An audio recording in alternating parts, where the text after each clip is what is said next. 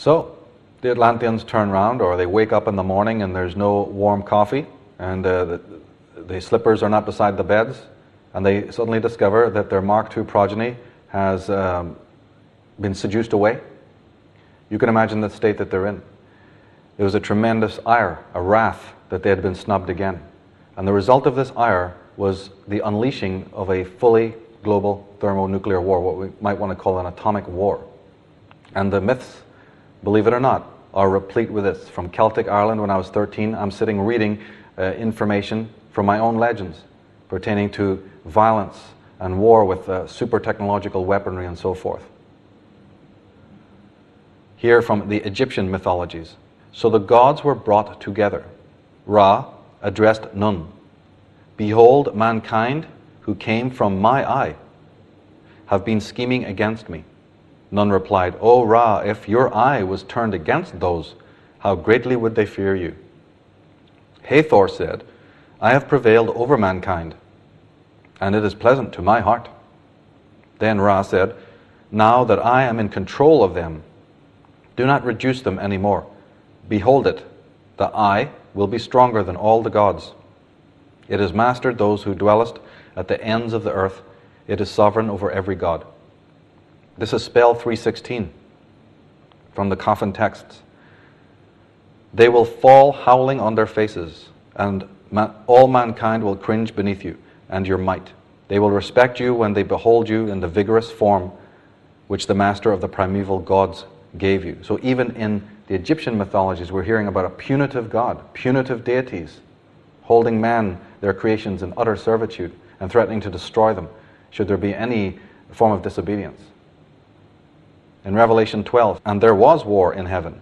Michael and his angels fought against the dragon, and the dragon fought, and his angels, and prevailed not.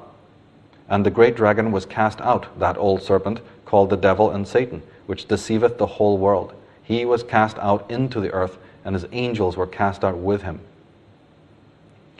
O my people that dwelleth in Zion, be not afraid of the Assyrian. He shall smite thee with a rod, and shall lift up his staff against thee, after the manner of Egypt. O Assyrian, the rod of mine anger, and the staff in their hands is mine indignation. Scholars like Comyns Beaumont have drawn attention to the fact that when you hear about the rod and the staff, these are actually weapons that is being referred to. In Samuel 4, Woe unto us! Who shall deliver us out of the land of these almighty gods? These are the gods that smote the Egyptians with all manner of plagues in the wilderness.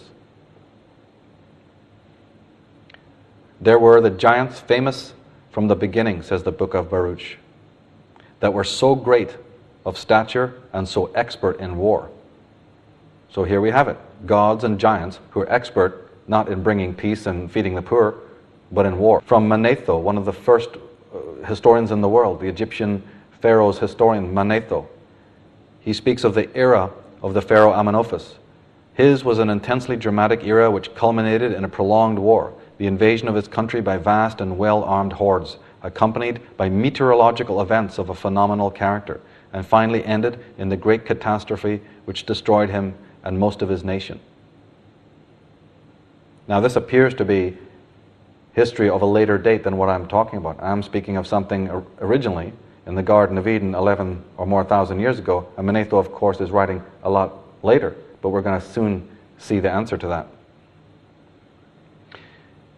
In the Ipuwer papyrus, 1780 BC, we read, The land to its whole extent confusion and terrible noise. For nine days there was no exit from the palace, and no one could see the face of his fellow. Towns were destroyed by mighty tides. Upper Egypt suffered devastation, blood everywhere, pestilence throughout the country. The book of Isaiah I am the Lord, and there is none else. I form the light and create the darkness. I make peace and create evil. I, the Lord, do all these things. Well, I didn't write it. There it is in 2 Kings, 2 Kings, the angel of the Lord went out and smote in the camp of the Assyrians, an hundred fourscore and five thousand. And when they arose early in the morning, behold, they were all dead corpses. Ezekiel 5 Wherefore, as I live, saith the Lord God, Surely because thou hast defiled my sanctuary with all thy detestable things, and with all thine abominations, therefore will I also diminish thee, neither shall my eye spare, neither will I have any pity. So we're talking about the Atlantean gods having absolutely no pity. They retaliate. The Lemurians try to retaliate because they have weaponry too, and they're intelligent and have psychic power also. But there is a tremendous campaign of hatred from the uh, Atlantean side here. That later chroniclers, that's later chroniclers, mythographers in the Bible, they're referring to periods much earlier than the dates in which they were writing. This has been proven. In Ezekiel 6, then shalt ye know that I am the Lord, when their slain men shall be among their idols, round about their altars and on every hill, in all the tops of the mountains, and under every green tree, and under every thick oak, the place where they did offer sweet savour to all their idols, so will I stretch out my hand upon them and make the land desolate, and they shall know that I am the Lord.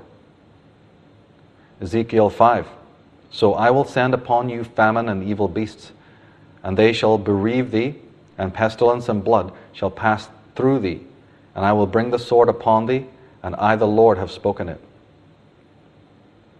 Exodus 9 The hand of the Lord will strike with a deadly pestilence to your livestock in the field. Job 1 The fire of God is fallen from heaven, and hath burned up the sheep and the servants, and consumed them, and I only am escaped alone to tell thee. In the book of Job, one person is saying that everything is destroyed. God has destroyed. You should read it. If you read the book of Job, it will clearly show you that some kind of atomic weaponry was being used here. In Jeremiah 4, and all the cities thereof were broken down at the presence of the Lord and by his fierce anger. In Joshua 10, as they fled from before Israel, that the Lord cast down great stones from heaven upon them to Azekah, and they died. And there were more which died with hailstones than they whom the children of Israel slew with the sword.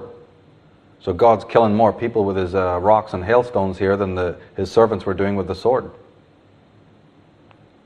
In Psalms 18, the Lord also thundered in the heaven, and the highest gave his voice, hailstones and coals of fire. Yea, he sent out his arrows and scattered them, and he shot out lightnings and discomfited them. In Psalms 97, a fire goeth before him and burneth up his enemies round about. The Bible makes fascinating reading. It really does. It's better than any of the Marvel comics or any kind of, uh, you know, Rambo movies. Psalms 97 again. His lightnings enlightened the world. The earth saw and trembled. The hills melted like wax at the presence of the Lord. Job 14. He shall flee from the iron weapon, and the bow shall strike him through. Okay, we got iron weapons now. Please note that. In Isaiah 16, chapter 16, we have, For behold, the Lord will come with fire, and his chariots like the whirlwind to render his anger with fury. So we got whirlwinds and chariots now. In the book of Peter, but the day of the Lord will come as a thief in the night, in which heaven shall pass away with a great noise, and the elements shall melt with fervent heat. The earth also and the works that are therein shall be burned up. In Isaiah 2, and they shall go into the holes of the rocks and into the caves of the earth for fear of the Lord, when he ariseth to shake terribly the earth. And the kings of the earth, and the great men, and the chief captains, and the mighty men, and every bondman and every free man, hid themselves in the dens and in the rocks of the mountains. A close reading of the language concerning divine retribution compels one to contradict the supernatural context commonly espoused by clerics and annotators. The rhetoric of the Bible concerning God's wrath does not appear to be caused by mere spiritual indignation. The language and tone of the Scriptures is patently martial, vindictive, and catastrophic, and does not seem to be an expression of the divine agency seeking to right spiritual or moral sins. And this has to be taken very, very seriously. When we read any of these passages, I'm just canvassing a few. This is physical. This uh, retribution and these attacks and this violence is a very physical thing. It's not the language of a moral God seeking to rectify moral sins or culpability. Comyns Beaumont, in his uh, fantastic tome, The Riddle of the Prehistoric Britain, has this to say Another prolific source of misunderstanding of the past is related to the vexed question of chronology. The Old Testament offers especially a flagrant example in this matter, for here the sequence of history was deliberately tampered with. Some dates are hundreds of years out of their true order. So, again, when you're reading the Bible, make sure that you realize that even if you can date the existence of that prophet, which is tough enough, just because he wrote something down or just because a chapter or a passage is attributed to a particular date does not mean that that chronology is correct. Far from it. Beaumont goes on to say In examining the scriptures, we must frequently ignore the apparent chronological eccentricities of the prophets of Israel. The Bible is a book of hidden meanings and many events which relate to a far earlier date than which men like Israel, Jeremiah, and Ezekiel are supposed to have lived. And Beaumont says the history of the Old Testament is the history of Atlantis. The scholar just cuts it to the quick.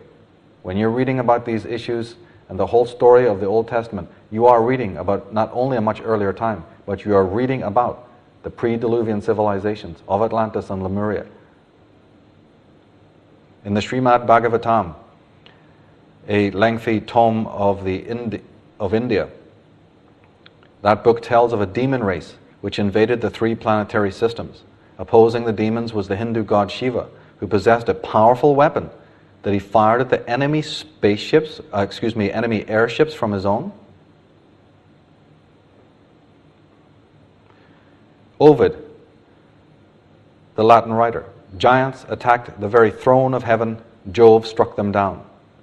Three times had Poseidon ventured with stern countenance to thrust his arms out of the water. Three times he was unable to endure the scorching heat of the air. In the Norse Edda, of the, of the Teutons and the Scandinavian uh, people. They have the great winters, the, wind, the winter of the wind, the winter of the sword, and the winter of the wolf. The second winter is called the winter of the sword. Those of mankind left alive rob and slay one another for what is left to feed on. Brother slays brother, mighty battles occur in the world. In Alan Alford's Gods of the New Millennium, he writes The people, terrified, could hardly breathe. Mouths were drenched in blood, heads wallowed in blood. The face was made pale by the evil wind. The Algonquian Indians, they have this to say Long ago, two powerful Manitos, that's two powerful gods, felt themselves insulted by the hero Wasaka. This put them into a fearful passion, and intending to kill their enemy, they raged and roared over the earth, which heaved and shook under their angry steps the Tahoe Indians. There was a time when their tribe possessed the whole earth and were strong and numerous and rich. But a day came when a people rose up stronger than they and defeated and enslaved them. Afterward, the Great Spirit sent an immense wave across the continent from the sea, and this wave engulfed both the oppressors and the oppressed. But a very small remnant were surviving. So, again, in the early legends, even though they're composite tales and they're sanctified by time, we always hear somewhat of the same refrain two opposing groups, uh, the intervention of gods, wrathful gods, heroes that are in opposition to the gods. The motifs may be the same, even though the individual treatment may be more colorful and different. The Persian legends in the Bundahis book, the Bundahis is a tribe, and the Persian legends, they say, on 90 days and nights the heavenly angels were contending in the world, and the confederate demons of the evil spirit in the Siberian legends, northern Russia. In the beginning was the earth, but then a great fire arose and raged for seven years, and the earth was burned up. Everything became sea, and the Tungus were consumed except a boy and a girl who rose up with an eagle in the sky. Rose up with an eagle in the sky. In the Bolivian records, going back some 5,000 years, tells of the destruction of civilization in far off times as a result of conflict with some non human race whose blood was not red like ours. Blood not red like ours. Well, what is blood? We were talking earlier about the genetic connection. In the Norse Edda again, and the head of Mimir, fountain of all wisdom, counsels Odin to meet on the field of Vigrid, and to wage there such a war that the power of evil would be destroyed forever, even though his own world would be destroyed with them.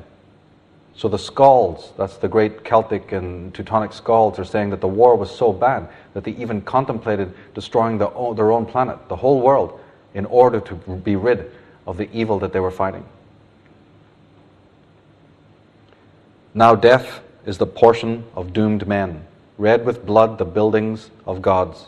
The sun turns black in the summer after the winds whine. Earth sinks in the sea, the sun turns black.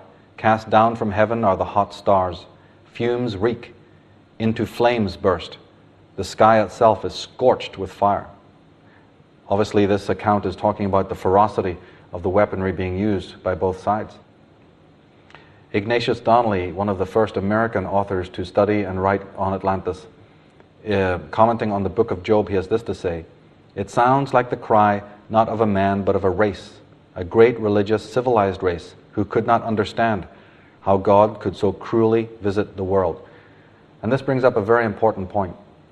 Here, Donnelly is talking about the cry of the race. We talked earlier about the Elohim uh, and the Jehovah and the Adams it has to be understood that if we read the Bible in the personal, if we think Adam is just an individual and Eve is just an individual and the serpent is an individual, we're not understanding how these ancient myths work. When we read Jehovah or Elohim or Adam or Eve, we have to think race. We have to think multiplicities of people. Then the story unfolds correctly. Jack Barranger, in his Past Shock, puts it this way It is one of in one of the most tragic ironies, the majority of humans continue to worship those gods who abuse them the most. And that's what we're still doing. Perhaps that accounts, would it not, for some of the predicaments that we find ourselves in right now? And again, in the ancient mythologies, plenty of reference to the super technological weaponry. Here from the Celtic myth and legend, uh, Charles Squire uh, writes of one of our greatest gods. After Nuada, the king of the Celts, his sun god, that's his right hand man, so to speak, was Lugh, the famous god Lugh. And of Lugh, he says, he also had a magic spear, which he had no need to wield himself, for it was alive and thirsted for blood. When battle was near, it was drawn out. Then it roared and struggled against its thongs. Fire flashed from it. It tore through and through the ranks of the enemy, never tired of slaying. So again, 50 years ago, 25 years ago, this may have seemed just like mythology, just like folk tales, not worth paying attention to. But today, as our own technology advances, we can revisit this. Does this not sound like a heat seeking missile or heat seeking weapon? As we progress into the future, we can now look back with more clarity to the mythologies of the ancient world. In Zechariah 9, and the Lord shall be seen over them, and his arrow shall go forth as the, lightning and the Lord God shall blow the trumpet, and shall go with whirlwinds of the south. In Proverbs 20, a wise king scattereth the wicked, and bringeth the wheel over them. Jeremiah 30. Behold, the whirlwind of the Lord goeth forth with fury, a continuing whirlwind. It shall fall with pain upon the head of the wicked. Exodus 7. And Moses and Aaron did so as the Lord commanded. And he lifted up his rod and smote the waters that were in the river. And all the waters that were in the river were turned to blood. One of the greatest sources for this kind of uh, testimonial of ancient times is the Hindu tome, the Mahabharata. But any Hindu scholar will tell you that the dates given for the Mahabharata are far too recent. This tome could be, they speculate, um, as old as 6,000 years. From the Mahabharata, we read this The Saubha clung to the sky at a league's length. He threw at me rockets, missiles, spears, spikes, battle axes, three bladed javelins, flame throwers, without pausing. The sky seemed to hold a hundred suns, a hundred moons, and a hundred myriad stars. Neither day nor night could be made out, or the point of the compass. In the battle of the Mahabharata, the warrior king Arjuna was disturbed about the fact that so many would perish. his god and counselor, Lord Krishna, replied to Arjuna's remonstrations, saying, Fear not to kill those before you, for they are already dead. This is the most mysterious comment and has caused a great deal of debate. Already dead. Not fully human, perhaps? Now, in the Ramayana, another Hindu book, we have mention of an iron thunderbolt capable of killing hundreds of thousands of humans. It was also said to be so powerful that it could have destroyed the earth.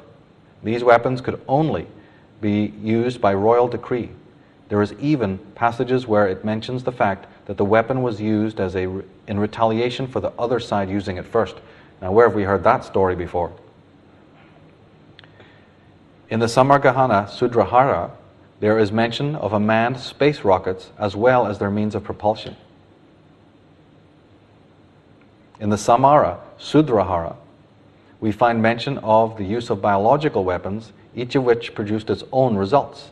The Samhara debilitated its victims by attacking the motor centers of the brain, and the Moha caused blockage of nerve impulses, resulting in complete paralysis. In a Chinese book, we find similar descriptions of germ warfare, and again references made to specific weapons causing specific results, just like today's world. Now, the Indian philosopher Ulukya discussed in his teachings the miniature solar system within the atom, molecular construction, and transformation, as well as the theory of relativity more than 2,800 years before Einstein. Now, when the Mahabharata was to be translated in the last half of the 19th century into the modern languages, the fanciful descriptions of ancient warfare were generally ignored. Now, why would that be? If no one has anything to lose, just like the old glacialists and Ice Age theorists, if you have nothing to lose, why remove these passages? In Mohenjo-daro in India, what was found corresponds exactly to what was found at Nagasaki, where everything was crystallized, fused, or melted. This mysterious event was recorded in the Mahabharata. One scholar, one uh, professor who was excavating, actually found a corpse in a chair that had basically turned to glass. His whole body and the walls and the chair had been fused into what appeared to be glass, but under tremendous heat. In the Mahabharata, we read stunning passages like this It was as if the elements had been unleashed.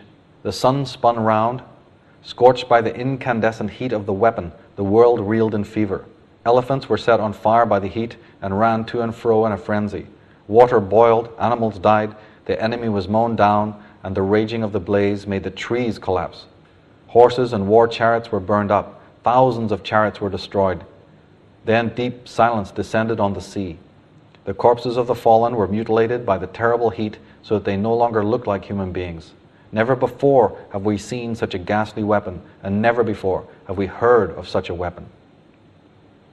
A single projectile charged with all the power of the universe, an incandescent column of smoke and fire as bright as 10,000 suns, from a shaft fatal as the rod of death. Endowed with the force of a thousand eyed Indra's thunder, it was as destructive to all living creatures. Hostile warriors fell to the earth like trees burned down in a raging fire. A substance like fire has sprung into existence, blistering hills, rivers, and trees. All are being reduced to ashes. You cruel and evil ones, drunk with pride, through that iron bolt you shall become exterminators of your race.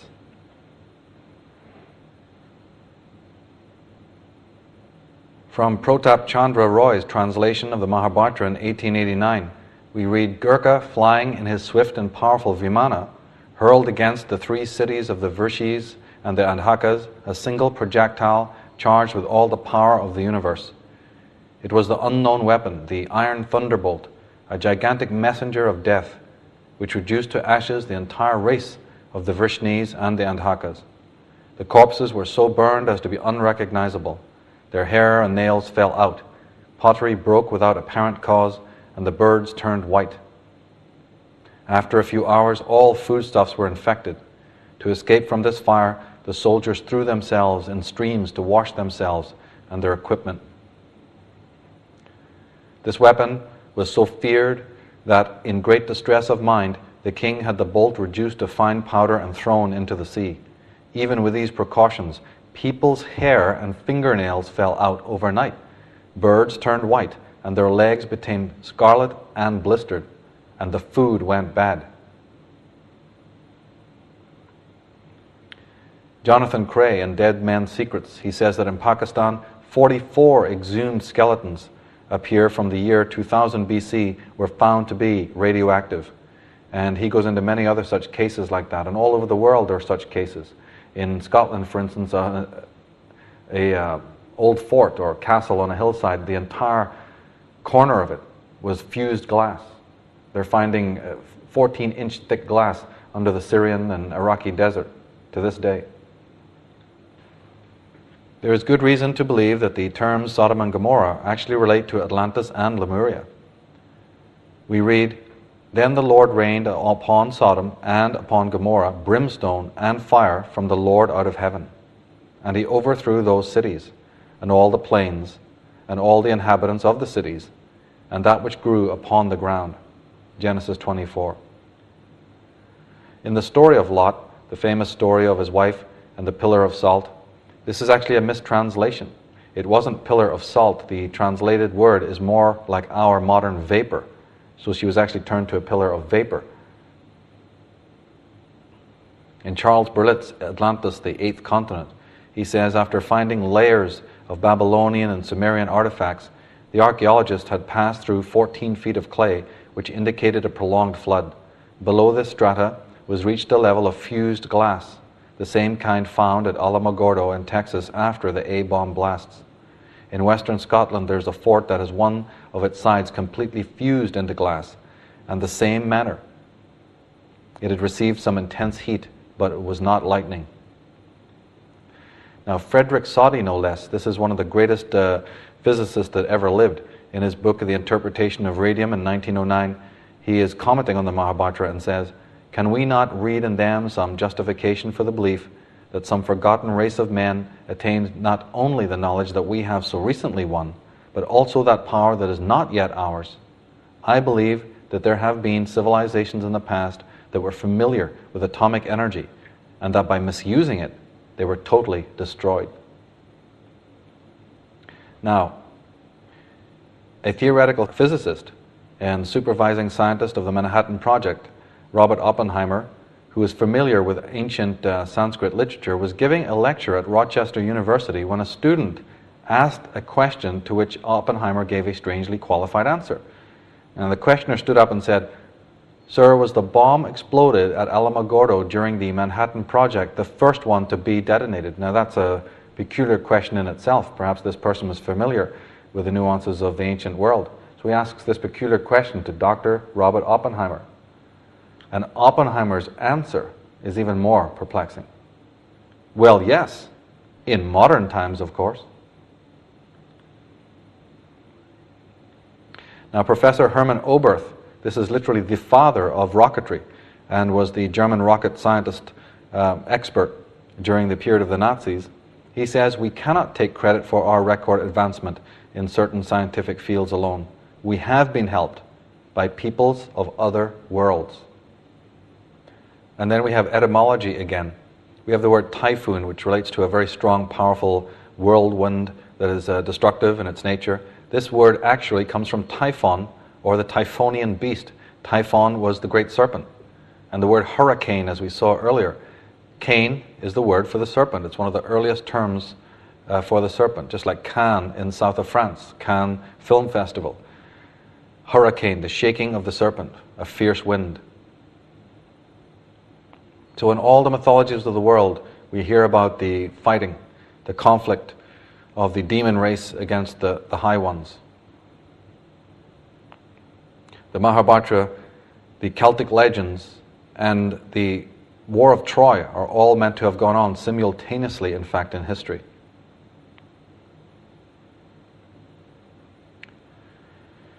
Now we come to look at the result of all of this. Now we need to look at if there was, in fact, a war about 11,000 years ago, if the original alien masters arrived here approximately 50,000 years ago, and if this war broke out in the region of 13,500 years ago, as the fossil record now seems to be um, hinting and saying, then we need to say, What has happened since that period? And we find that there was an unforeseen variable. Because if there was indeed a war of the gods, and if evil came into being due to the repeated biomanipulation of Homo sapien, then why is it that neither side seems to have triumphed? That's right. How come it is that we're here 13,000 or 11,000 years later debating this problem, debating this question? Because, say, the Atlanteans had won and evil had triumphed, we certainly wouldn't have been sitting here contemplating the question. We wouldn't have this inner dichotomy as good versus evil. And if the other side had won, the Lemurians had conquered, we'd all be living in peace and happiness and tranquility. So why are we not? Why 11,000 years later? A huge, vast expanse of time between where we are now and these events that we're referring to here.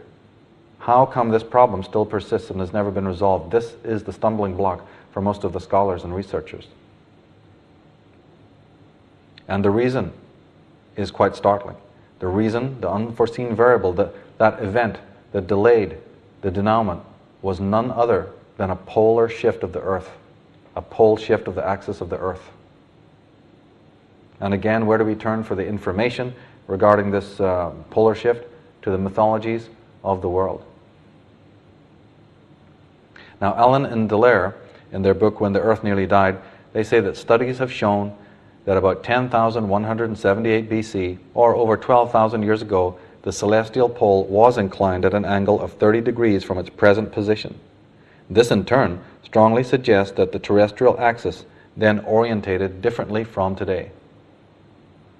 The gigantic worldwide tectonic disturbances of the late Pleistocene times occurred almost simultaneously on a near unimaginable scale, precisely what could be expected from a powerful external influence, but not from the Ice Age conditions conventionally believed to have existed then.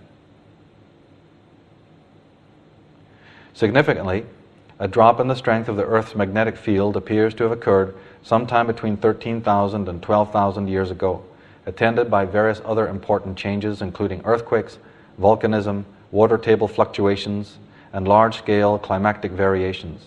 Of these, severe earthquakes in particular may even induce axial wobble and polarity reversals. So they're talking about the comets, they're talking about the possible destruction of Tiamat, that we looked at earlier. They're talking about Tiamat's water by pouring artificially into our Earth, onto our Earth. That may have precipitated a polar wobble or a pole shift. Edmund Halley, after Halley's Comet, he was the first modern scientist to account for the deluge by polar displacement.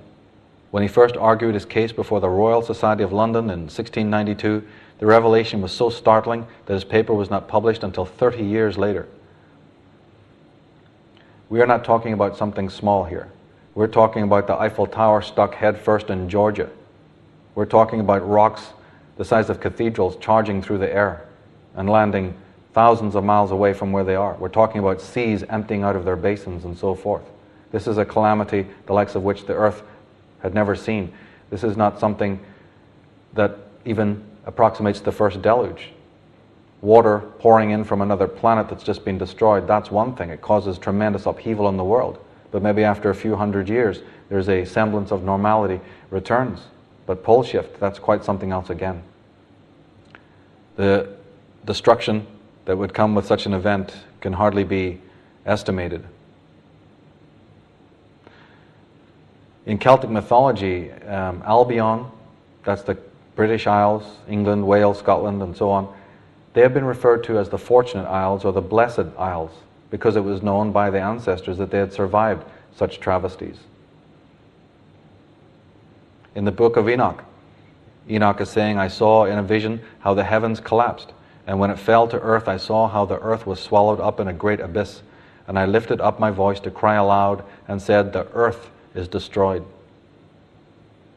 Larry Brian Radka, in his book Astronomical Revelation, says, And the pillars of heaven were broken. The earth shook to its foundations. The heavens sunk lower towards the north. The sun, the moon, and the stars changed their motions. The earth fell to pieces.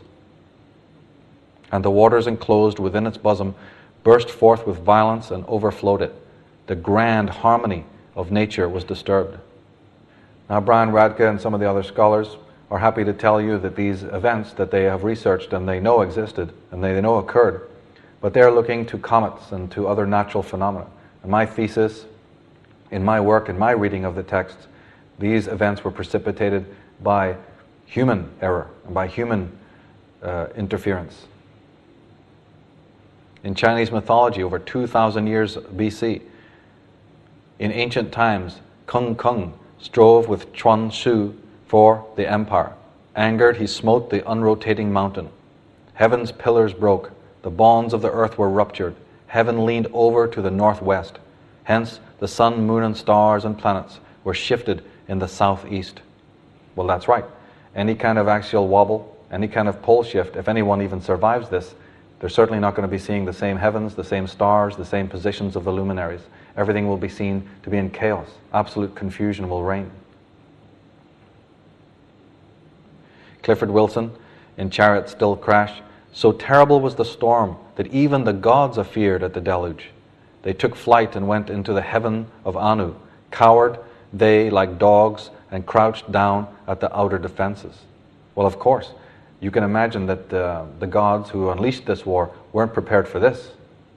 They didn't realize that the ferocity of their own weaponry would precipitate a pole shift, would precipitate an axial wobble, would precipitate the moisture of the air being completely incinerated, which would then affect the magnetic shield of the Earth and the Roche limit, which then in turn would attract some more of the debris that was already out there from Tiamat. So again, more ice, more rain falling to the Earth. Now, the word Atlas in Greek actually means the one who could not withstand the skies. And in Sanskrit, Atlantis or Atlas means deprived of its pillar, the bottomless, sunk to the bottom. Poseidon, this is the famous god, of course, of the ocean, but specifically he was the monarch of Atlantis. Po comes from the word Sirius, and Don, the lord of. And he was known as the creator of men, but also as the god of earthquakes. So, here in one mysterious word, Poseidon, we have the whole story being told. Poseidon is the god of the waters, Poseidon is the god of Atlantis. But Poseidon is the earth shaker, the one who brings the earthquakes upon mankind.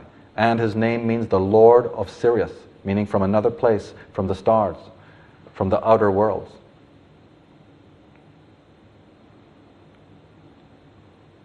So it was that Earth lost the continent spoken of in the world's great legends Appalachia or Atlantis, Tyrrhenia, Oceania, Beringia, Fennoscandia. So today, when scholars and antiquarians and archaeologists are digging around the Mediterranean area and saying that they're discovered Atlantis. No, they've discovered a great civilization that perhaps was controlled by Atlantis, because Atlantis was an empire. The city of London in ancient times during its uh, empire controlled many areas of the world, and likewise did Atlantis. From the Toltec Song of the Feathered Serpent Tolan's towers are burned. Quetzalcoatl and his family are arrived here after the death of his homeland from the Hopi Song of the Flood. Down in the bottom of the sea is the proud cities and the worldly treasures corrupted with evil. From Ezekiel 17 Though you be sought for, yet shall you never be found again. From the Egyptian papyri South becomes north, they say, and the earth turns over. From the Laplanders of northern Sweden, their mythologies Say, I shall reverse the world. I shall bid the rivers flow upward. I shall cause the sea to gather together itself up into a huge towering wall, which I shall hurl upon you, wicked earth children, and thus destroy them and all life. The Aztecs, our forefathers dwelt in that happy and prosperous place they called Aztlan. In this happy place is the great mountain in the middle of the waters called Culhuacan, because it is the point turned over towards the bottom. And for this reason, it is called Culhuacan, meaning the crooked mountain. Culhuacan from Culhua means the serpent mountain. So here again, we have the same motifs, the same refrain. The crooked mountain, the mountain that used to be one direction but is now turned over. And it was the place of the serpents. The Mixtecs. The Mixtecs, another instructed Mexican tribe, described the Culhuacan as the place of heaven, where the gods erected a sumptuous palace and dwelt therein. A great deluge occurred there in which many of the sons and daughters of the gods perished. And the Athenians of Greece, a priest of Sais, told Solon, that's Plato's father, when the mighty power aggressing against the whole of Europe and Asia was held at bay by Athens alone, this vast power, he said, wantonly made war and endeavored to subdue at one blow our country, Egypt, and yours, Athens, and the whole of the land. That same vast power failed in their efforts, and then the great catastrophe suddenly burst upon the invaders and defenders. Nonnus, the historian, in his work, he says there was a tumult in the sky, shaking the joints of the immovable universe. The very axle which runs through the middle of the revolving heavens was bent. In Plato's Timaeus, forwards and backwards, and again to the right and left, and upwards and downwards, wandering every way in all six directions. In one day and one fatal night, there came mighty earthquakes and inundations that engulfed the warlike peoples in the book of Baruch. There were the giants famous from the beginning that were so of great stature and so expert in war. But they were destroyed because they had no wisdom and perished through their own foolishness. The Russian mystic writer, Madame Helena Petrovna Blavatsky, writes Under the evil insinuations of their demon, Thevetat, the Atlantis race became a nation of evil magicians. The giants and magicians and all flesh died, and every man. And Comyns Beaumont writes the prehistory of the Atlanteans and the race of Adam possessed peculiar similarities. The supermen of Plato's island were drowned in a flood like the Adamites, the giants of old time, men of renown, the man whose thoughts became wholly evil, destroyed in what is called the flood or universal deluge. The cause advanced for their destruction was, in effect, the same in both cases, they being accused of having mastered too many of the divine secrets of or as we should say, science, as the ancients named it, the gods. Herodotus, the ancient historian, I observed that there were seashells upon the hills, and that salt excluded from the soil to such an extent as even to injure the pyramids. So he's talking about the sea level, that around the pyramids and around the Sphinx, definitely there was salt water at one time. And Tony Bushby, in his Secret of the Bible, says some researchers advanced the possibility that seashells provided evidence that the Great Pyramid was erected before the deluge, a theory supported by much abused Arabian traditions, supported by the narratives in the Book of the Dead, and by a curious watermark running round the Great Pyramid two thirds distance up its face. The Zuni Indians say earthquakes shook the world and rent it Creatures turned fierce, becoming beasts of prey, wherefore others turned timid. Wretchedness and hunger abounded, black magic, war, and contention entered into the hearts of men and creatures. So in the Zuni myths, they're saying, they're talking about the coming of evil. They're coming, they're saying that the mentality, the behavior of animals changed, and the mental uh, paranoia and schizophrenia of the human race began. In the book of Habakkuk, the sun and moon stood still in their habitation. At the light of thine arrows they went. Joshua 10 And the sun stood still, and the moon stayed, until the people had avenged themselves upon their enemies. Is not this written in the book of Jasher? So the sun stood still in the midst of heaven, and hasted not to go down about a whole day. So here we have in one passage of the Bible the, idea that the scriptures are saying that not only was there a war, but celestial events were awry, and that there was two, again, opposing peoples, a tremendous war that couldn't be abated. From the Bible again, the earth is utterly broken down, moved exceedingly. So the earth is moved exceedingly.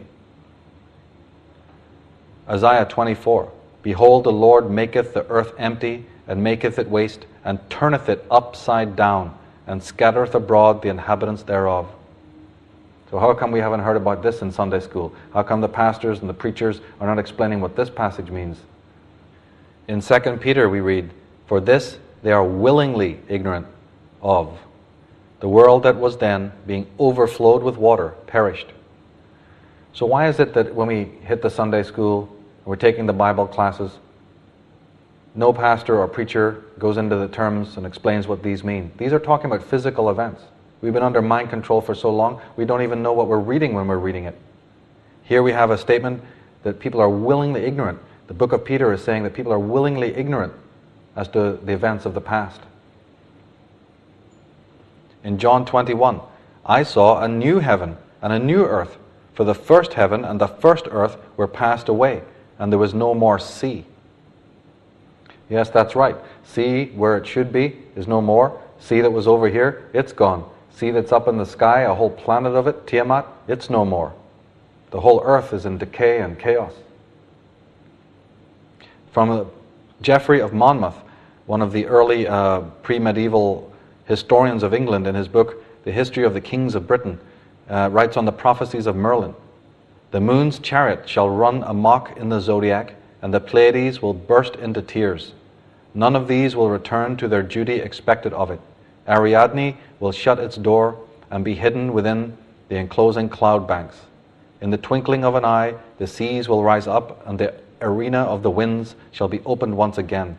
The winds shall do battle together with a blast of ill omen, making their din reverberate from one constellation to another. From the Wisdom of Solomon, chapter 14, from the Apocrypha. For in the old time also, when the proud giants perished, the hope of the world governed by the hand escaped in a weak vessel, and left to all ages a seed of generation. So the books that were purposely left out of the Bible, the Apocrypha, in this book they're saying there were survivors and they escaped in a weak vessel. That means some sort of vessel that was impaired, not working correctly, but they were able to escape. Now we spoke earlier about the unforeseen variable, the idea that we're still inherited this problem of evil and the problem of conflict, the problem of the alien versus the human DNA in us from 11,000 years ago or more. And we've inherited because the pole shift prevented conclusion. But what we also must understand, and one of the reasons for the great delay, is that after you have had a pole shift of this kind of magnitude, it's unforeseen by the perpetrator, it's unforeseen by the oppressor, it's unforeseen by the oppressed. Both contingents were not ready for this. They had no idea that the earth would respond this way.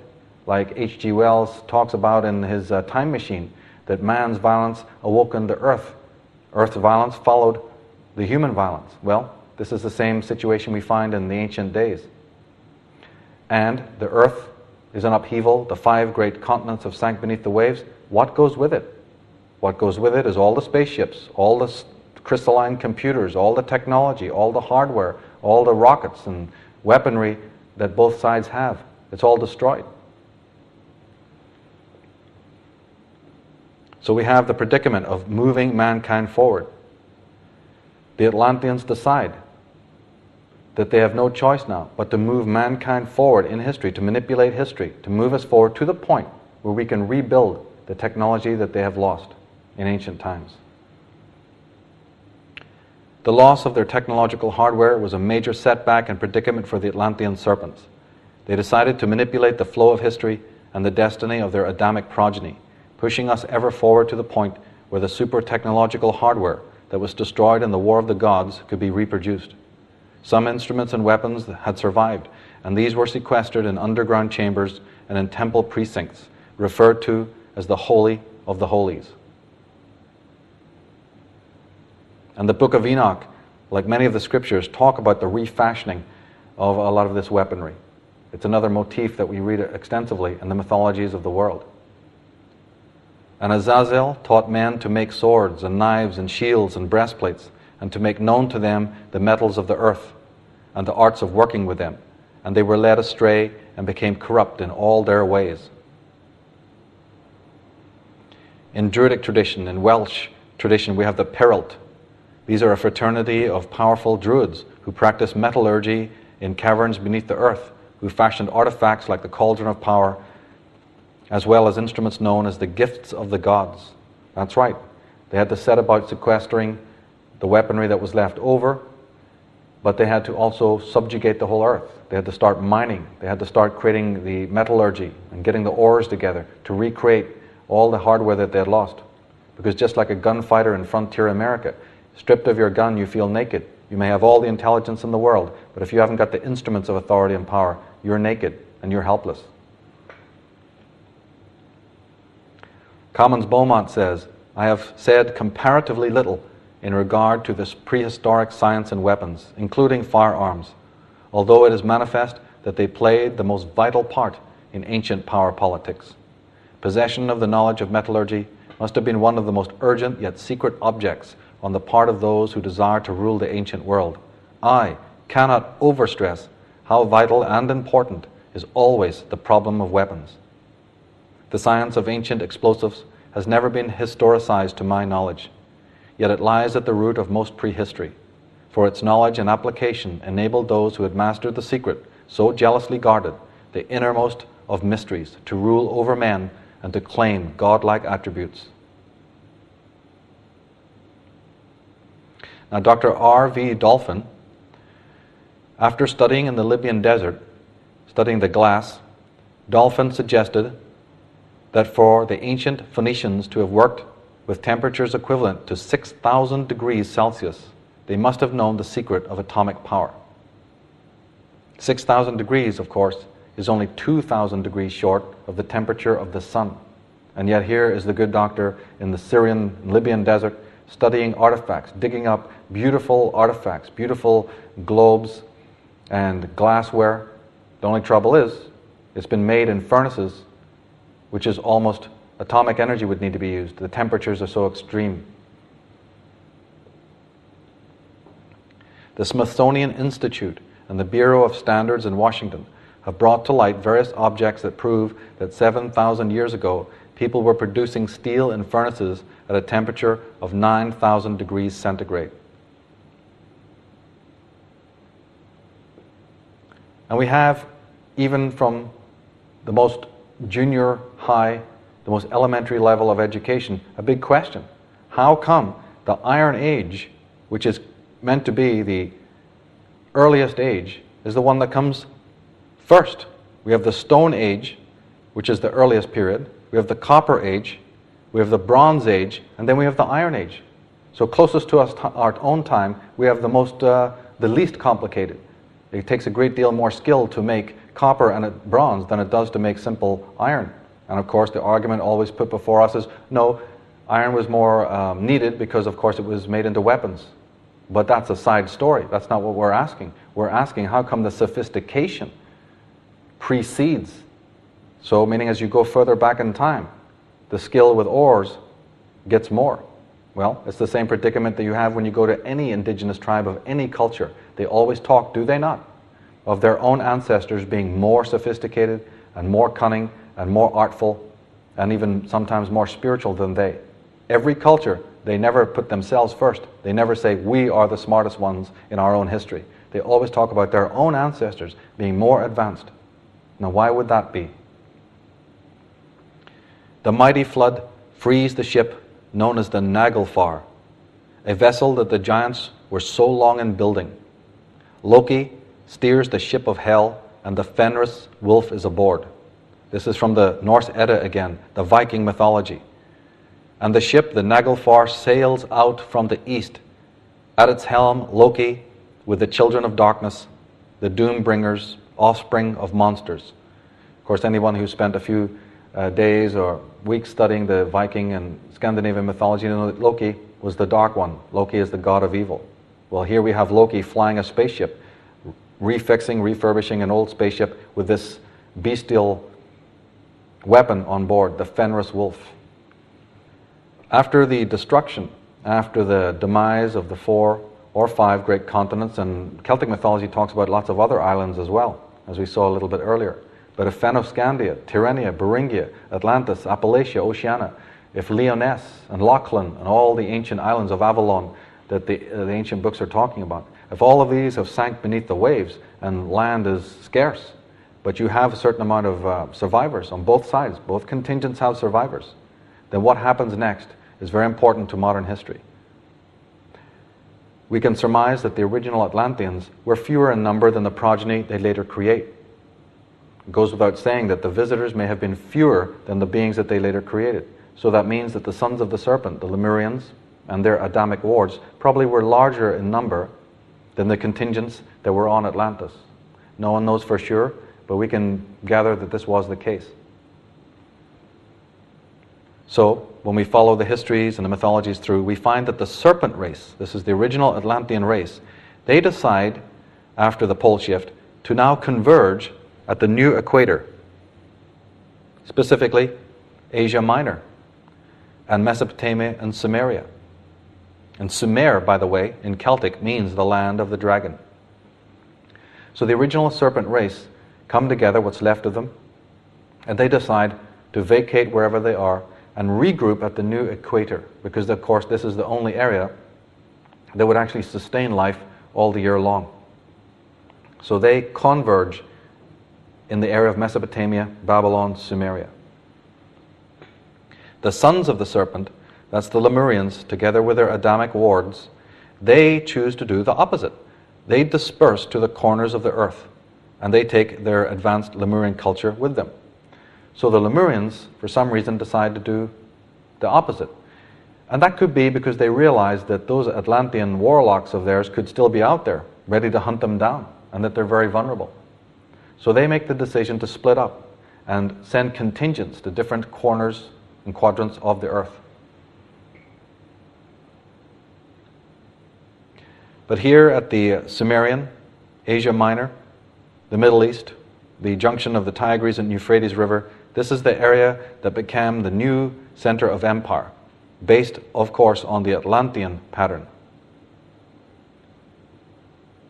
The word Europe, in Greek mythology, Europa was the daughter of the phoenix, which rose from the flames of destruction. And one doesn't have to be an expert in mythology to understand what this means. Europe is literally the one that has risen from the flames of destruction. Europa, the daughter of the phoenix. Dionysius of Susanna says, They were the first great founders of the worlds, founders of cities and of mighty states, who showed a path through seas before unknown, and went each wandering tribe far off to share a different soil and climate. Hence arose great diversity, so plainly seen mid nations widely severed. So there we have it, folks. There's the answer.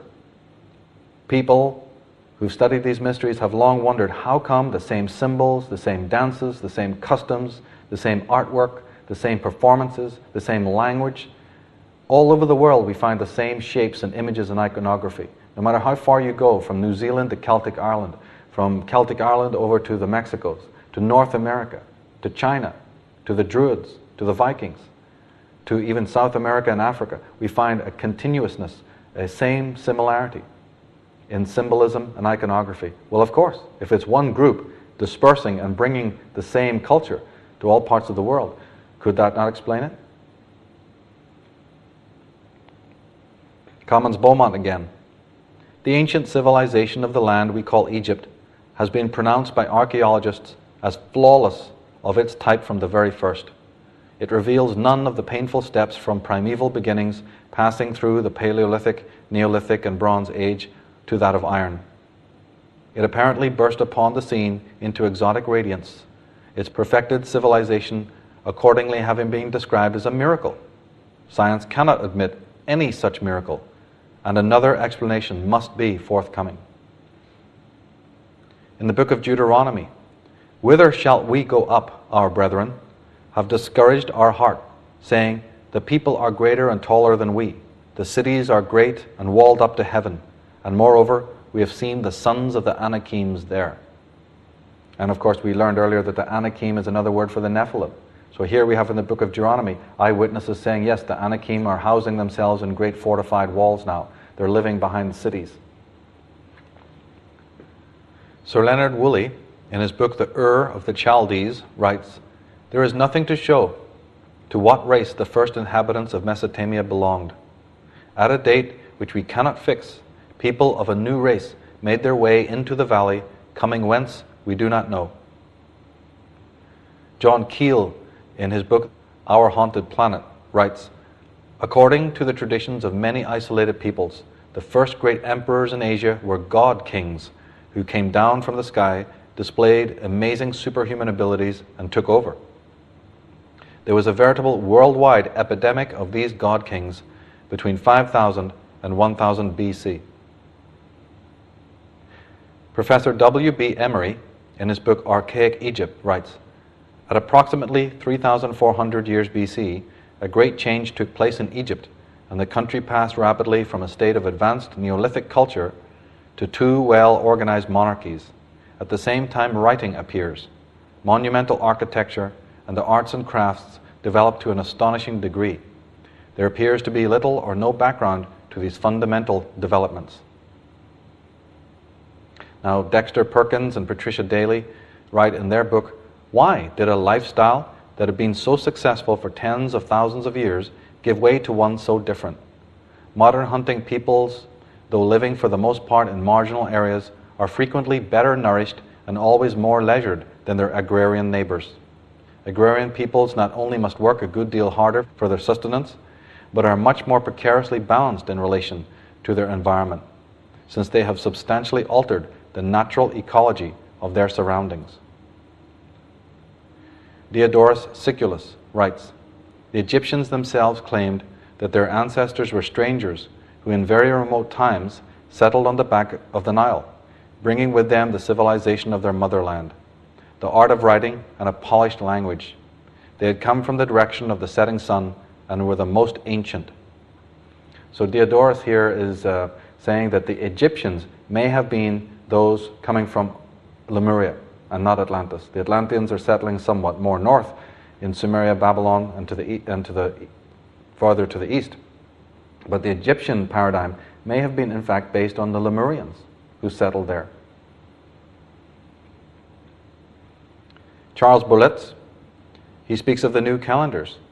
The Hindu, Egyptian, and Babylonian calendars start or commence a new cycle from the point of 11,500 years to 11,000 years BC, fairly close to the figure given by Plato for the end of Atlantis, or 9,500 years before his time.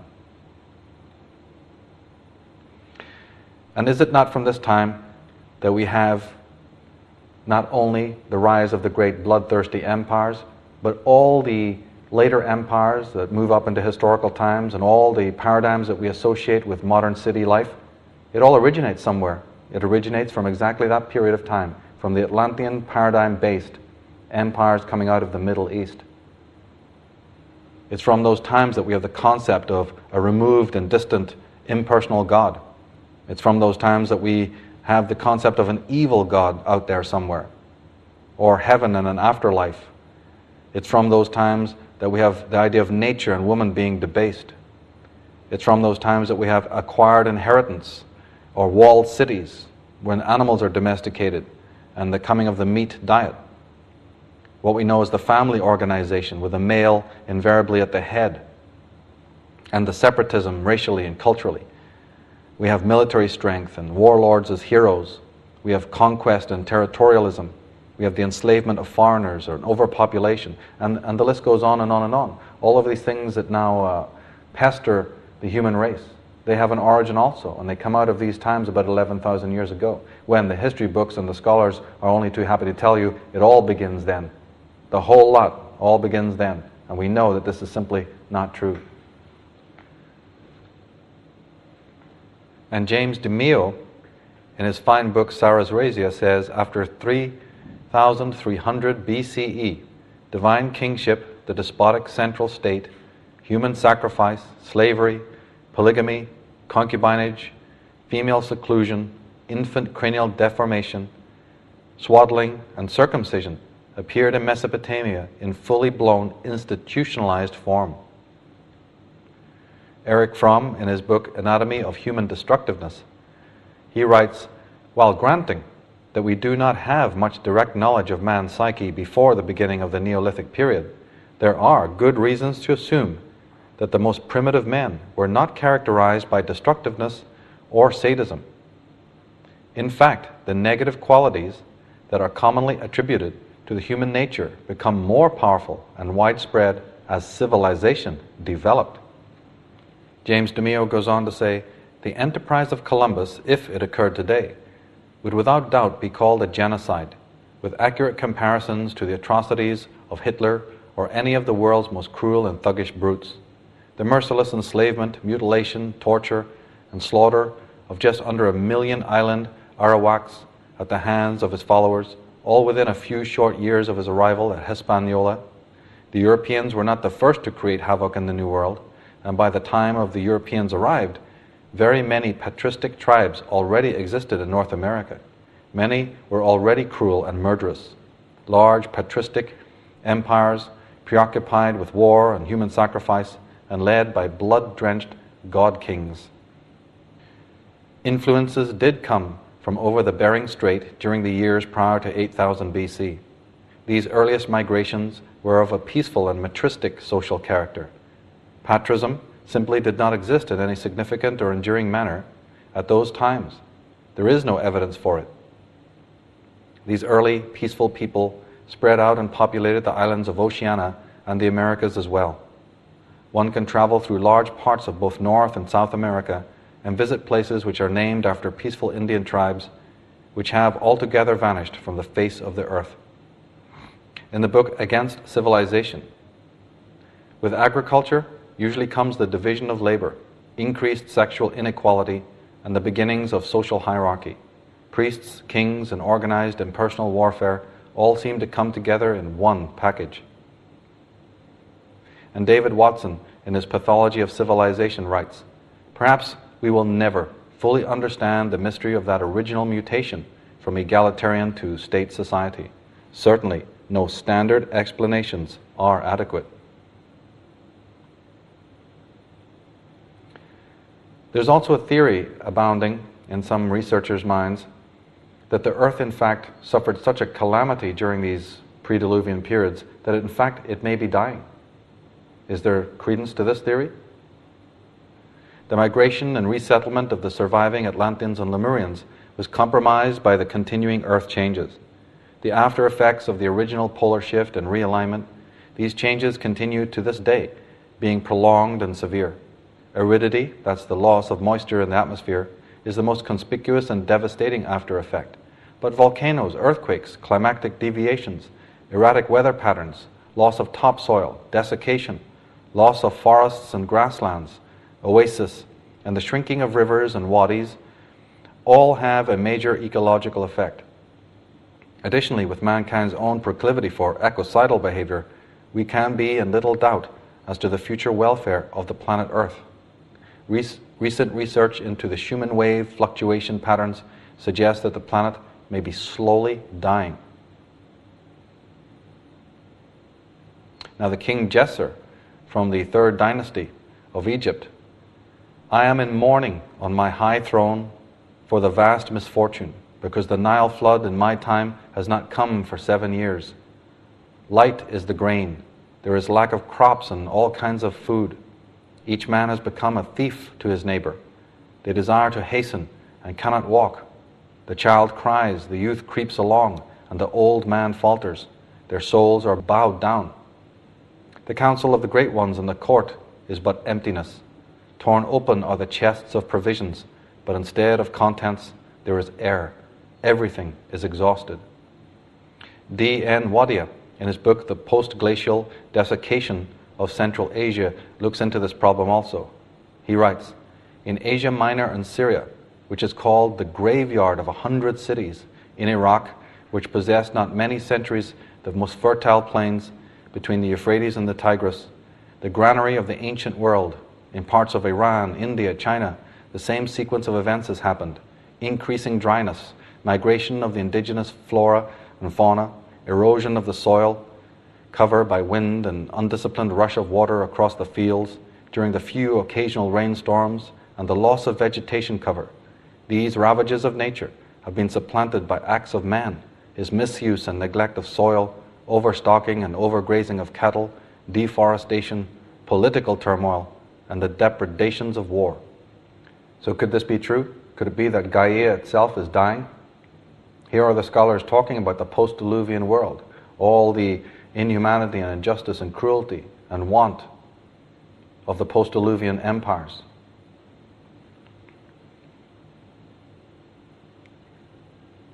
E.F. Huntington, in his book Principles of Human Geography, writes In all parts of Palestine, unnumbered ruins show that once the population was more dense than now. In Judea, Samaria, and Galilee, the terraces of vineyards, the cisterns of farmhouses, strewn scores of barren hillsides, or are scattered far beyond the limits of modern habitations. Old villages are waterless. Elsewhere, the limestone hills are so devoid of soil that a single farmer, and far less a whole village, could scarcely find land enough to raise crops.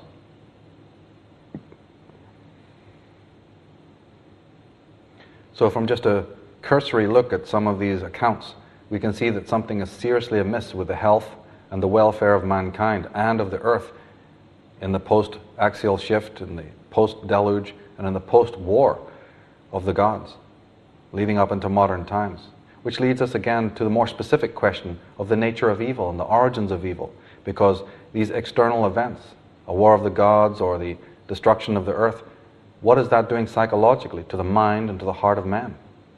He's already in a schizoid situation because of the tampering with his own biology, his own DNA, the fundamental essence of a human being. He now has to deal with the fact that he's part alien in his nature. And this alien, cold blooded, merciless nature sitting beside his human nature, his symbiotic connection to the earth and to the matrix of the universe. And uh, again, the ancient mythologies have a great deal to say about all of this. In the book of Enoch, the child which is born to you shall survive on the earth, and his sons shall be saved with him. When all mankind who are on the earth die, he shall be safe, and his posterity shall beget on the earth giants, not spiritual, but carnal. Canon George Rawlinson, he speaks of this genetic devolution. They were the boldest mariners, the greatest colonizers who could boast a form of government approaching to constitutionalism, who of all the nations of time stood highest in practical arts and sciences, and into whose lap there flowed an increasing stream of the world's greatest riches, until the day came when they began to care for nothing else, and then the enjoyment of the material comforts and luxuries took the place of the thirst for knowledge. We have Comyns Beaumont talking about the great falling off. For many generations, reports Plato, the people of Atlantis despised everything but virtue, not caring for their present state of life, thinking lightly on the possession of gold. But in time, the divine portion began to fade, and their human nature got the upper hand, having been too often diluted with the mortal admixture. The Atlanteans became unseemingly and base, having lost the fairest of their precious gifts. Now, here, Beaumont is phrasing it sort of differently. He is emphasizing the falling off, but as many Christians also think, this is separation from God. We're handed this cartoon idea that because man has distanced himself from the Creator and from God, that is the account. That's the reason for his moral falling off. But could it some, be something much more intricate than that? Something more elaborate? Not just a simple falling away from spirituality, but actually a schizoid nature within himself.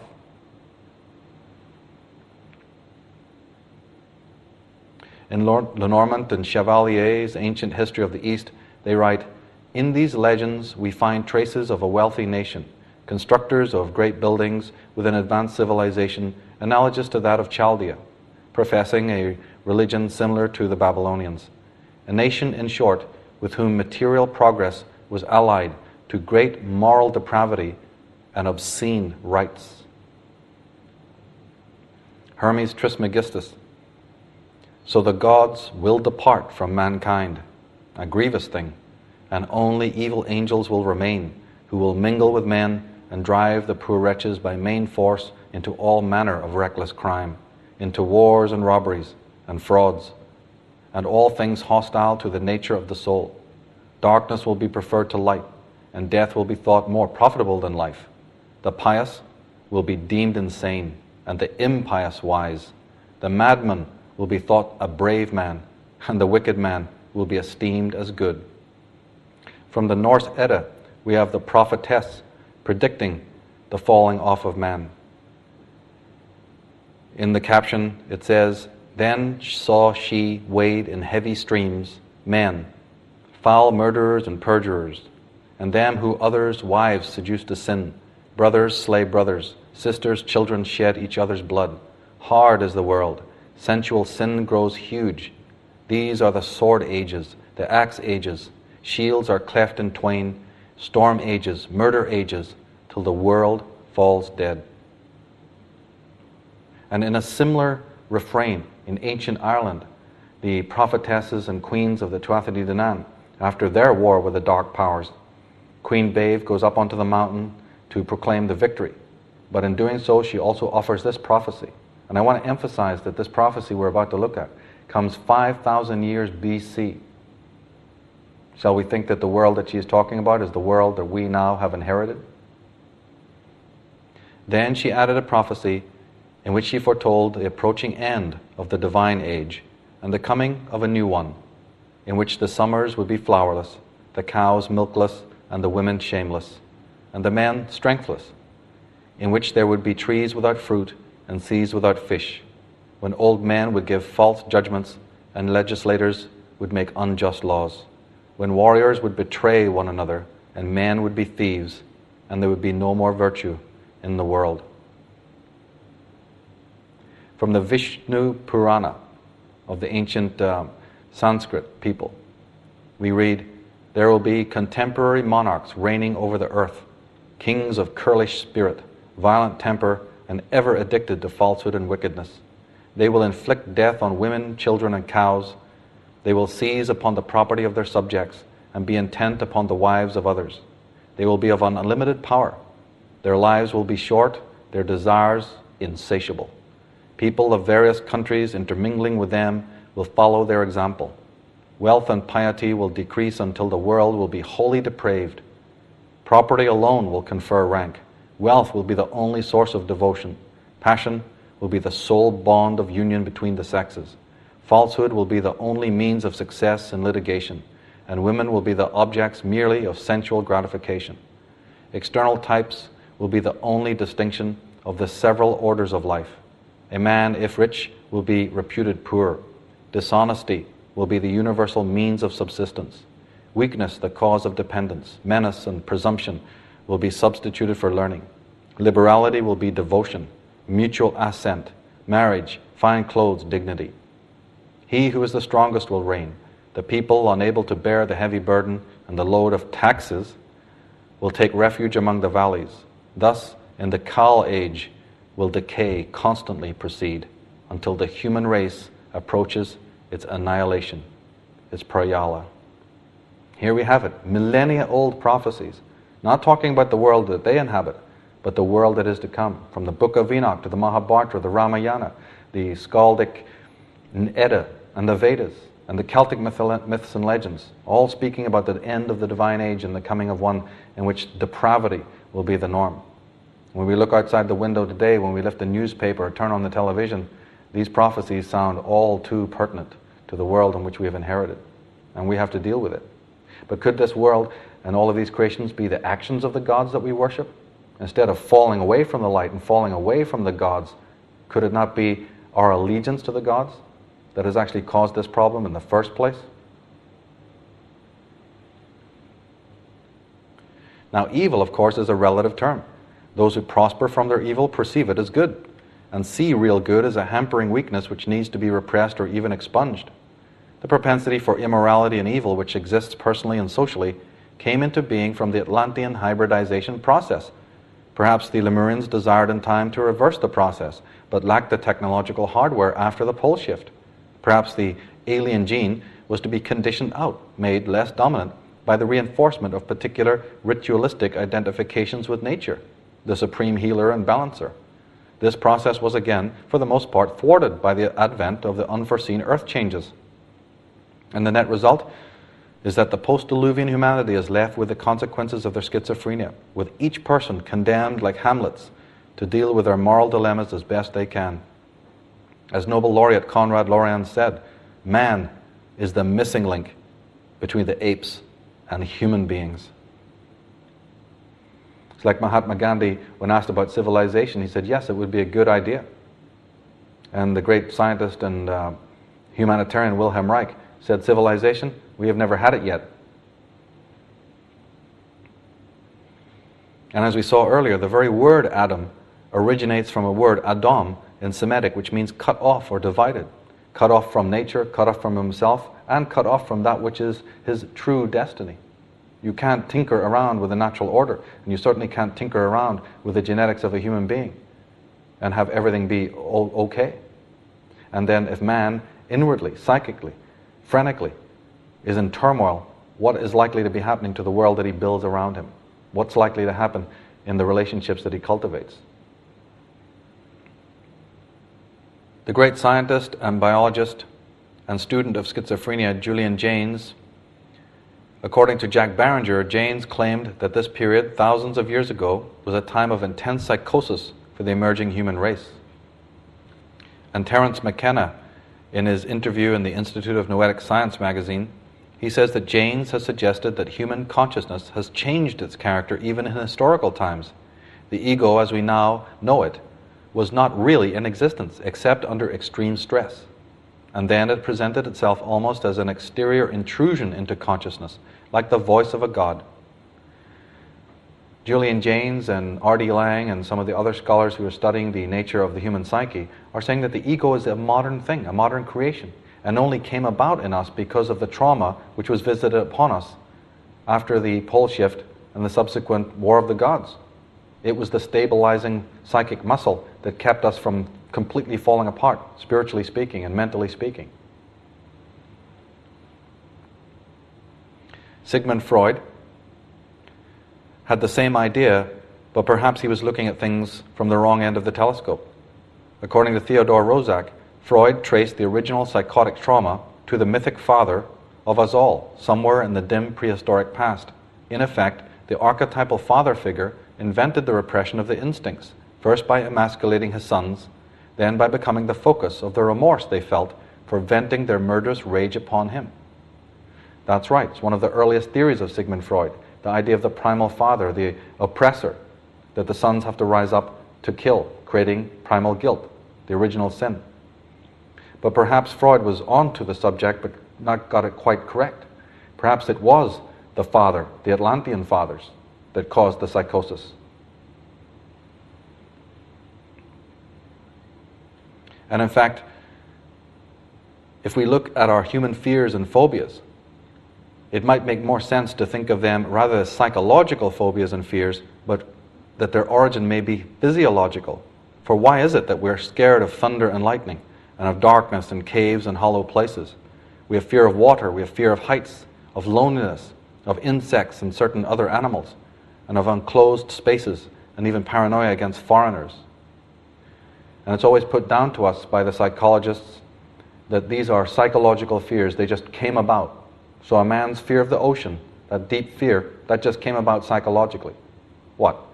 From a Homo sapien that's meant to have existed on the planet with oceans for perhaps millennia? Why would you have such an irrational fear? But wouldn't you have that fear if you racially encoded into your DNA, encoded into your racial memory. Saw the whole earth torn apart, visited by unimaginable ravages. And it was an historical blink of the eye. Such events are written in our genetic memory, and that is the origin of all these fears and phobias. They are physiologically based, not psychological.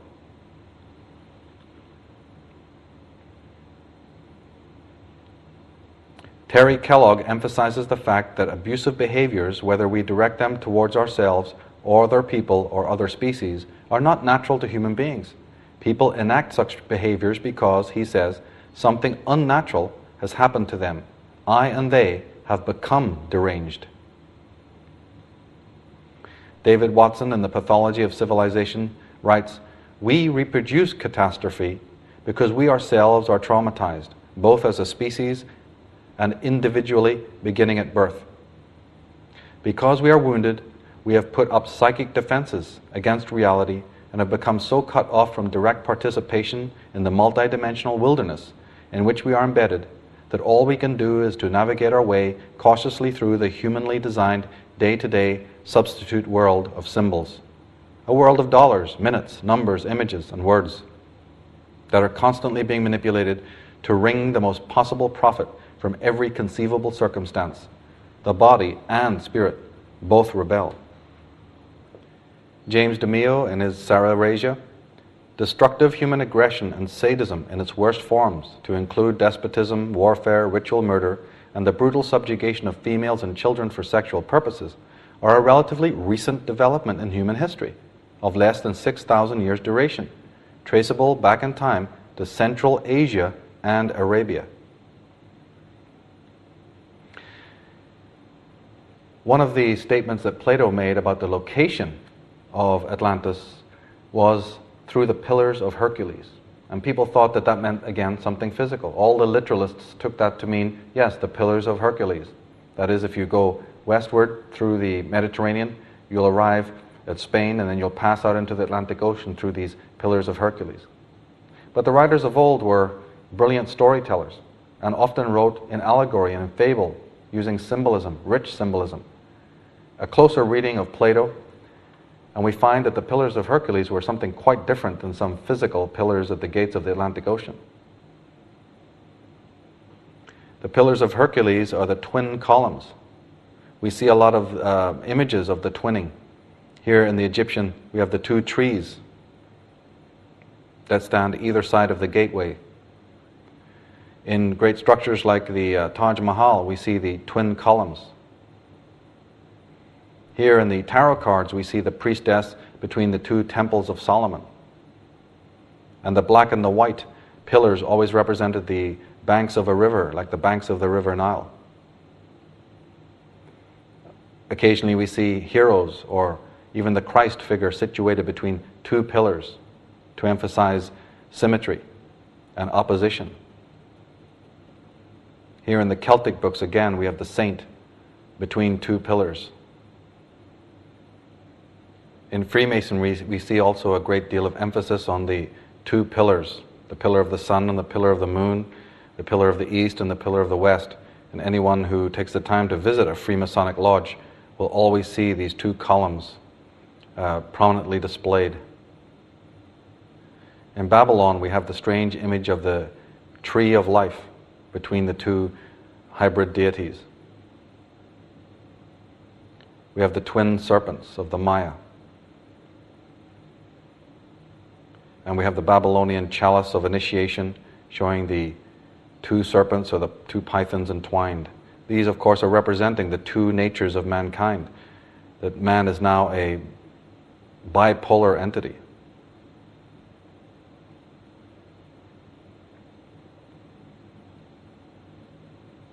Young children are wont to remark when seeing the deities of India as to why they all possess these four arms. Well, if you have four arms, it often implies that you're two people in one. Two people in one would make four arms. And we have the left wing and the right wing again of Egypt. Freemasons also have a central figure in the double headed eagle, one head of the eagle or phoenix facing east and the other facing west. If one studies a swastika, you'll find that it originated with two ser- serpents. The fylfot, the original symbol of the swastika, comes from two interlaced serpents.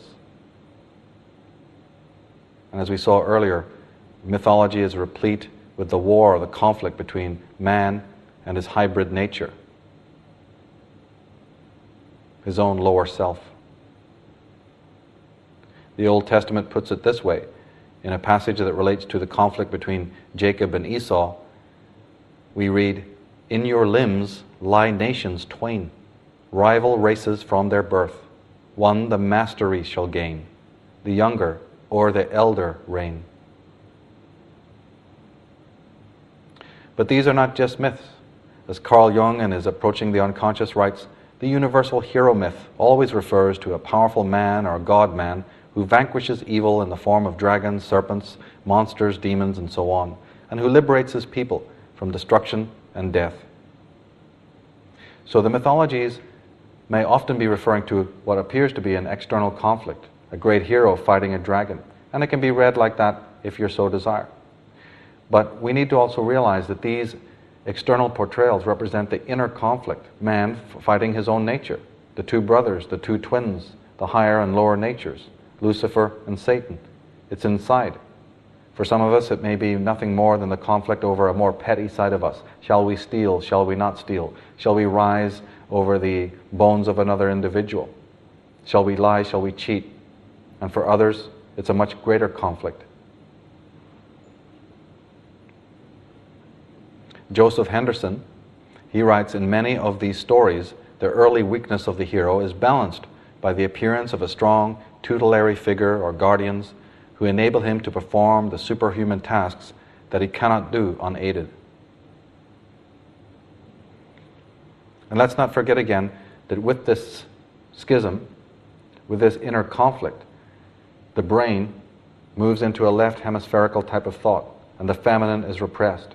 And when you repress the feminine psychologically, you also do so sociologically. And therefore, we have, from 11,000 years on, from the advent of official history, we have the rise of patri- patriarchy and patriotism. Patriarchy arose after the threat of invasion, conquest, and war. Tribes feared being overtaken and decimated, and therefore, out of necessity, strong male leaders began to replace the female matriarchs. This, of course, is the official line. Well, if your world has been in chaos and you can hardly even feed yourselves, let alone build cities and fortify yourself and protect, of course, now the balance completely changes. Those who were close to nature, the woman would have been more in the forefront politically, religiously, and socially. But once the earth is in upheaval, and now all you need are the muscular skills in order to be able to secure yourself and your culture, your race, your people. Suddenly, the masculine abilities, the masculine powers become dominant. P. Stern, in his prehistoric Europe from Stone Age man to the early Greeks, writes The influence of the mother goddess, who had been all powerful during the Stone Ages, now began to wane. Male deities, gods of war and conquest, were in the ascendant. James DeMeo remarks on the advent of patriarchy. There is no evidence to suggest that peoples of the more fertile times went about warring with each other, nor did they possess child abuse practices. The female principle was held in high status, or possibly revered. Where rock art was the dominant form, the female is seen to have occupied an equal or even central place in society and was not viewed with anxiety by the artists. Royal tombs, excessive grave wealth, female grave murder, temple architecture, fortifications, weapon technology, and the fully blown nomadism were absent from these early cultures, as were male gods and phallic imagery. In all cases, the arrival of militant armored nomad groups from Central Asia and Arabia initiated cultural transitions which destroyed the male female and maternal infant bond and placed all family matters in the hands of the dominant males. The early peaceful people were either exterminated and replaced by the armored newcomers, or they were enslaved, losing their own cultural identity and legal controls over their land, property, and very lives. The once self regulated, free choice of sexual partner and mate selection was increasingly suppressed and subordinated to the demands of parents, priests, and kings. An emphasis upon military matters occurred with strong men leaders growing in power and veneration to the point where the masses enthusiastically genuflected to divine kings. In all cases, change towards increasingly stratified political hierarchy and despotism was accompanied by institutionalized changes in family structure towards an increased male dominance over basic life decisions of females and children, an increased control over children by parents of both sexes, sadistic abuses within the family, in society at large, and in the military appear to have increased in direct proportion to these changes.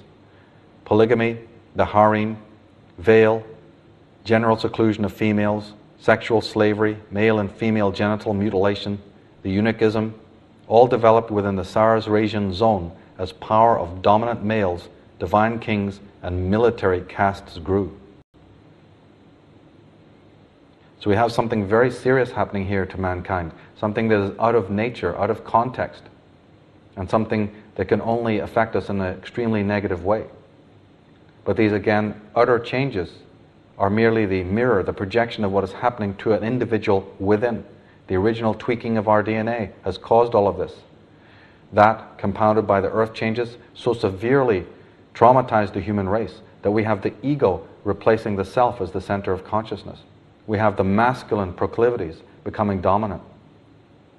All these atrocities that we see in the so called modern world can be traced back to an origin.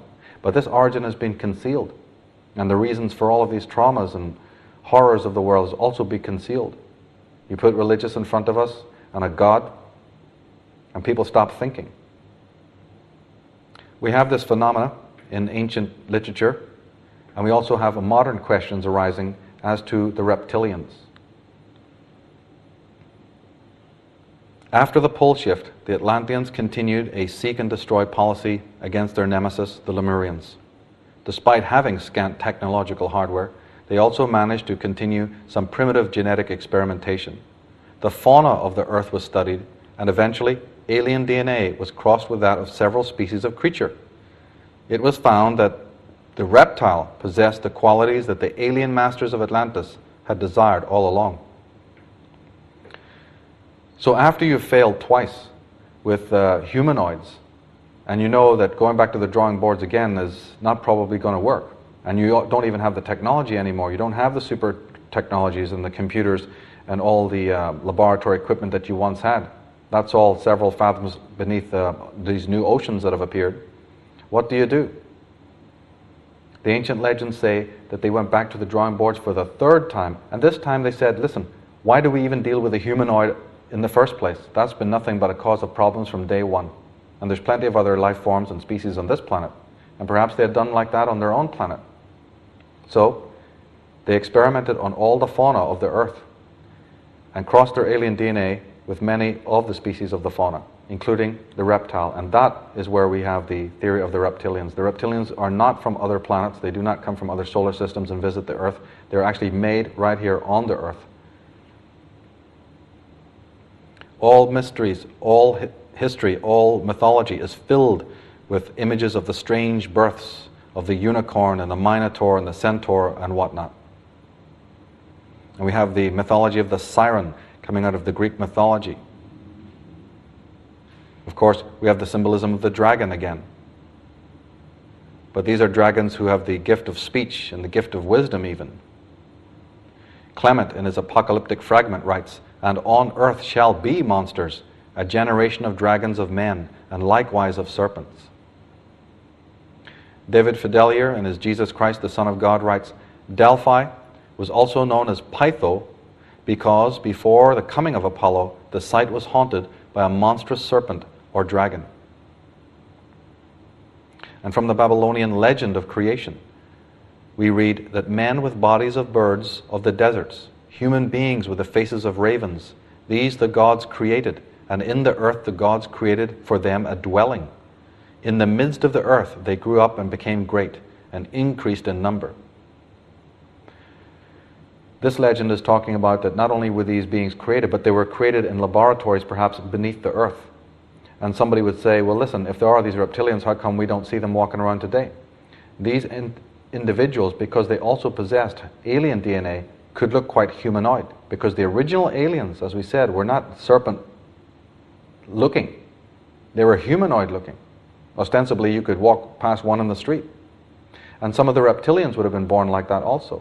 Though they had reptilian DNA, they could look quite human. And some looked very reptilian. So the ones that looked too reptilian, they were phased out or moved into caverns beneath the earth. Some people say they still are there. And that is why, even up to the Middle Ages, you always hear about the hero having to go and prove his manhood by knocking on the door of some dragon and do battle or conquest with some hideous monster. So, right up and almost until modern times, history confirms that such beings existed. And again, from Babylon, we have architecture, sculptures, bas reliefs, images, sculptures showing hybrid animals and hybrid creatures. Here on the left is a phoenix type bird, the Babylonian uh, eagle gods. On the right is a reptilian lizard uh, female with her offspring. We have cave paintings of erect, standing, bipedal lizard type beings. One of the greatest American scholars in this subject, Professor J.J. Hurtak, says In our research, we have come across statuary of very grotesque beings who, according to the Indian and shamanic tradition, went into the earth at the time of a great cataclysm. So, from all over the world, we not only have the stories of heroes and gods and uh, great uh, conflicts, but again, we have the hybrid being, the hideous monster.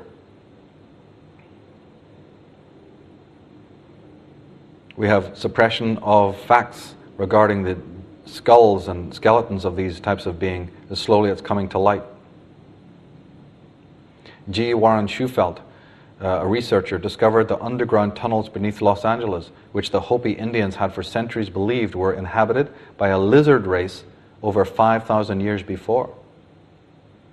Robert E. Dickhoff, in his book Agharta, tells of a Tibetan monk who learned that an alliance of reptilians and human black magicians were causing chaos and destruction in the surface societies by projecting malevolent energy fields into people's minds, using what we call witchcraft, uh, the manipulation of energy. Dickhoff says that the monk led 400 warrior monks into the caverns to do battle with this serpent cult. And in Ireland again, the Celtic legends, we have the Fomorian race. This is the earliest prehistoric visitors to Ireland before any of the other races got there. And as we learned earlier, the Fomori means giants, but it also derives from a term meaning those from under the sea. And if you read Celtic mythology, you'll actually come across statements of the Fomori and realize how the gods had to fight them. And there's descriptions of these beings, descriptions of them, descriptions of their king, description of their heroes or so called warriors. It makes fascinating reading. In the Emerald Tablets of Hermes, we read that only by magic could they be discovered, only by sound could their faces be seen. But you know, the masters were mighty in magic, able to lift the veil from the face of the serpent, able to send him back to his place. Came they to man and taught him the secret the word that only man can pronounce. Swift then they lifted the veil from the serpent and cast him forth from the place among men. Yet, be aware, the serpent still liveth in a place that is open, at times to the world. Unseen they walk among thee in places where the rites have been said. Again, as time passes onward, shall they take the semblance of man. Speak I of ancient Atlantis Speak of the days of the kingdom of shadows. Speak of the coming of the children of shadows.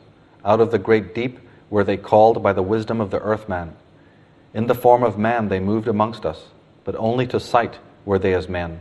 Serpent headed when the glamour was lifted, crept they into councils, taking form that were like unto men, slaying by their arts the chiefs of the kingdoms, taking their form and ruling over man, to destroy man and rule in his place. Here we have an interesting Mayan picture of a god on the left with some kind of weapon and a shield coming to do combat. But if we study the image on the right hand side, we will see that it's a large green serpent that has a man in his mouth. A large green serpent devouring a human being. If we study this corporate logo from the Italian company Alfa Romeo, we not only find a Knights of Malta or Knights of uh, Columbus, Knights Templar cross on their left, but we find, strikingly, the very same symbol on the right a green serpent devouring a human being with a crown above the serpent's head. And curiously, Italian Prime Minister Berlusconi has exactly that image in his garden a large black serpent with a crown devouring a human being.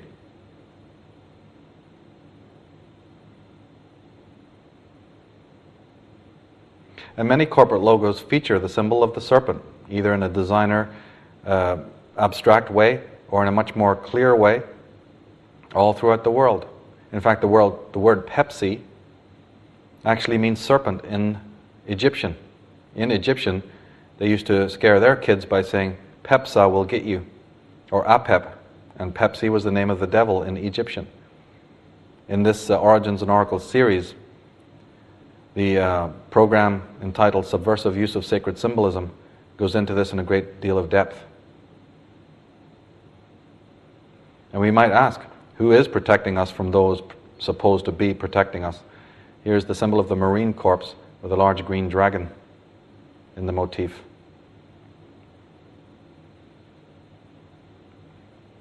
And many, many features, many, many uh, programs, not only for adults but also for children, and many movies extensively feature the symbol of the lizard or the reptilian.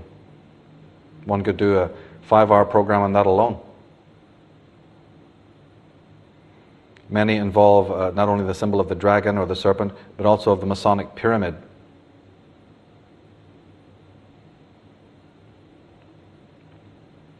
In the movie Conan the Barbarian with Arnold Schwarzenegger, we actually see one of the heroes or anti heroes of the show actually turning himself into a lizard.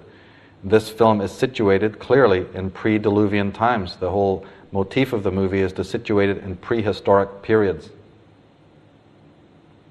But we find it in much of our modern context, in music, we find the, the bestial symbols being used in the music business and in the corporate world today.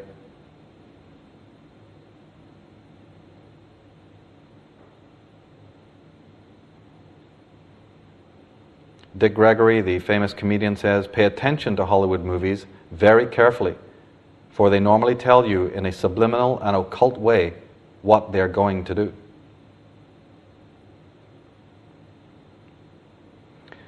Of course, we noted earlier that the caduceus of Hermes is the worldwide symbol for the medical profession, but here the World Health Organization uses clearly the symbol of the serpent.